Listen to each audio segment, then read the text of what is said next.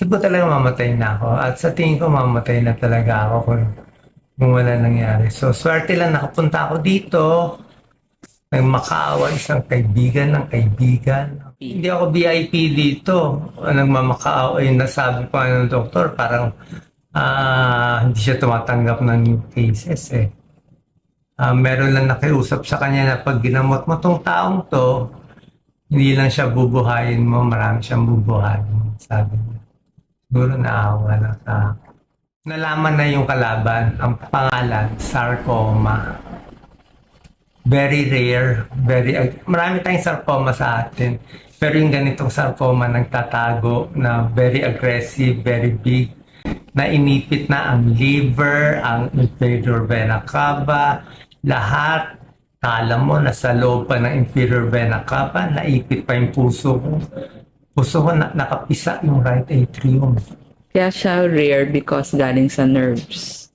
Galing sa nerves, Yun yung nagpa-rare sa kanya. galing sa nerves at ah, wala akong risk factor. Tsaka wala kaming laya. Tsaka hindi lang yun, nagtago. So nagtago siya, malaking malaki, malaking malaki. So pag doon anytime will die, dito siguro we'll see. Pero ako kahit ano naman mabuhay, hindi mabuhay, okay na sa akin. At least, sabi ko sa inyo, hindi ako nasisimali. Wala akong tinatago. Ba't ako tatago? Saan ko nakuha to? Tingin ko stress. Kaya kayo, huwag kayong magbabasa ng comments sa Facebook. Na-stress ako sa mga comments. Na-stress ako sa mga bashers. Kahit konti na na-stress ako.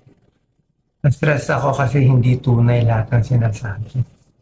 Dahil sobra akong kayong mahal. Sobrang mahal ko ang Pilipino. Sobrang mahal ko magpamahirap. Tapos, sasabihan nila na hindi ako na ginagamit ko lang, loko ko. Lungkot ako. Una, pero hindi. Kaya nga ako na. May purpose pa ang Diyos. May purpose pa ang Diyos. Pray. Nagagaling. Pero sabi ng doktor ko itong sarcoma, mahirap na kalaban. Isa sa pinakamahirap na cancer na kulang ang research, kulang ang bagong gamot, medyo miracle. Medyo miracle dapat. Dapat labanan daw ang cancer.